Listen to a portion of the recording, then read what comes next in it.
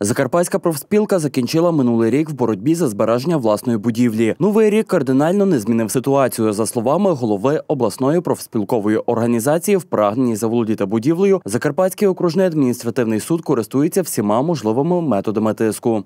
суди не зупинилися. І за цей період відбулося декілька таких цікавих моментів. Нас попробували відключити від е, електроенергії. Незважаючи на це, проспілки продовжують перебувати в будівлі електроенергію завдяки зверненню і допомозі голови облдержадміністрації Геннадія Москаля вдалося відновити. Однак це не вирішує ситуацію, констатує Володимир Фленько. Вона на сьогоднішній день заморожена. Е, Представники виконавчої служби до нас не приходили, бо згідно чинного законодавства, е, спочатку ми повинні би були здати приміщення фонду державного майна. Повинен був бути зроблений акт прийому передачі, а після цього мало бути вирішено, як далі бути з приміщенням. Але е, суд не витримав таких речей. Він вважав, що це власть.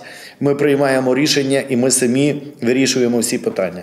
В цій історії Закарпатська профспілка виявила цікавий факт. Виявляється, що в 2011 році розпорядженням Кабміну окружному адмінсуду було виділено приміщення площею 2000 квадратних метрів на території військової частини в обласному центрі. Однак воно каже пан Фленько, так і не було застосоване згідно призначенню.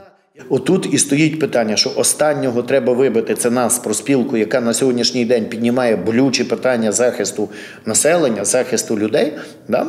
І е, тоді нас треба просто вдавити, щоб ми могли мовчати. Ні, ми мовчати не будемо. Враховуючи всі обставини, делегація Закарпатської профспілки на днях проведе зустріч в кабінеті міністрів України, де вкотре зустрінеться із першим віце-прем'єр-міністром для вирішення долі будинку профспілок.